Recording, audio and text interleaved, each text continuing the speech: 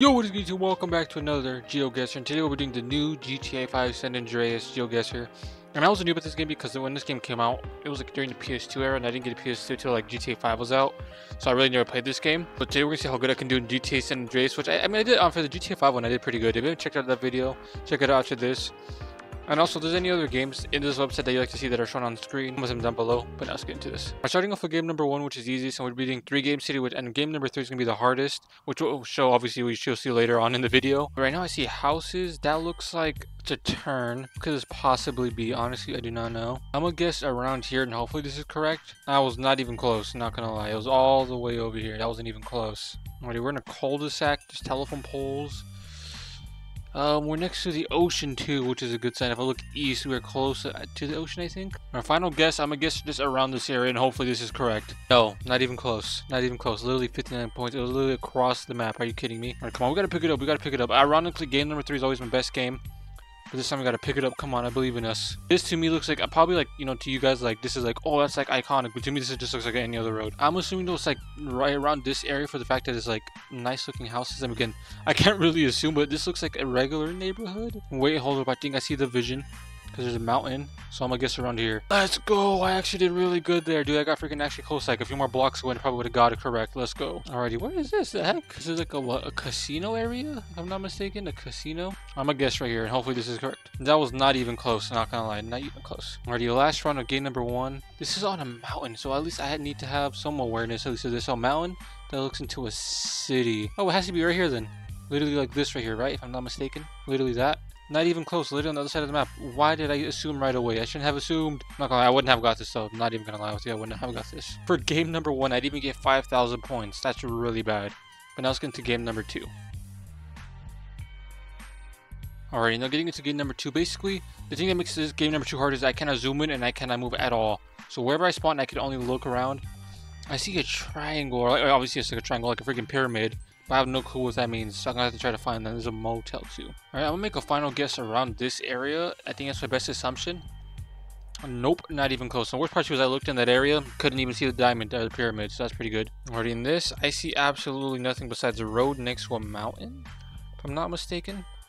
Yeah, literally right next to a mountain. I'm gonna guess right here. This is my best assumption, like around that area. Nope, across the map. Dude, I am literally so bad at this, not even gonna lie. I'm terrible. Alrighty, I'm in the forest. Come on, I gotta get this right. Literally, like, in a forest. How many maps in GTA have forests? Well, like, actually a lot.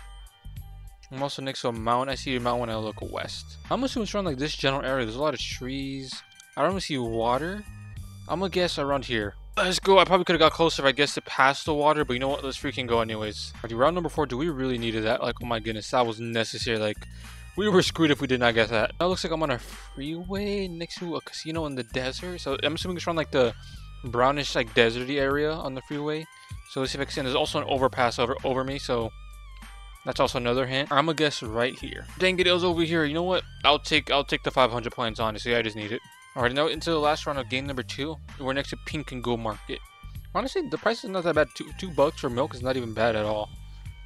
But gonna be honest again, no clue where this is. This could be anywhere on the map and I have no clue. I'm gonna guess around here. Let's freaking go. I, dude, I did really good this run. Holy crap, I needed these 2,000 points. Let's go. Game number two, I somehow beat my score game number one where I had the most variety. But now let's get to the hardest one.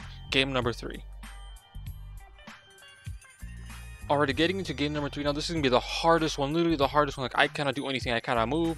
I cannot. There's a timer too literally nothing. So what I see is what I have to guess, and it looks like I'm in a forest area, and I only have 50 seconds to guess. So hopefully I can get this, but uh, this could be honestly anywhere. But you know what? My gut last time took me around here for the tree, so let's go back here again. Let's go! I was actually close again. Let's freaking go! Oh my gosh, I was clutch. I see a building, a green light, and that is it, and a turn. That gives me nothing, honestly nothing. And on the reflection of the glass, I see nothing as well. So I have no clue where this could be, honestly, nada. I'm gonna just guess, I say like in the middle of the map and just hope for the best. I somehow got close, what the heck, dude? What? That's actually insane, I did not think I would get that close. Dude, like I said earlier, game number three for no reason, for literally no reason. It's just my best game. Like it makes no sense. So, like I do actually good game number three, which actually makes no sense. The, the thing I'm most limited on is what I do amazing at. But right now, I just see a tower and just a road, and that's kind of venting, uh, like a little mountain to the right, like around here, if I'm not mistaken. Nope, I should have stuck to my gun sit in that area. Gosh dang it. Alrighty, second to final round of game number three. It looks like I'm next to the desert. Oh wait, I think I know where this area is. I think I do. If I'm not mistaken, it's around here.